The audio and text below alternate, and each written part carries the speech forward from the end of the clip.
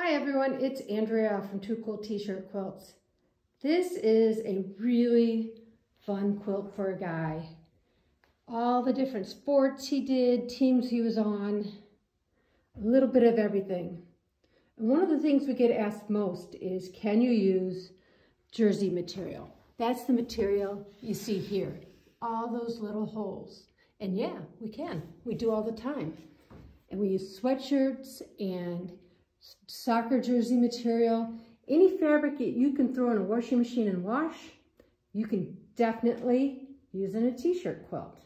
So t-shirt quilts are not just t-shirts.